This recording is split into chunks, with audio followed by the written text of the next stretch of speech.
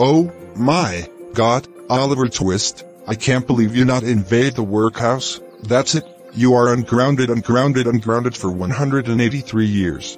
And also, I'm feeding Oliver Twist. Hmm.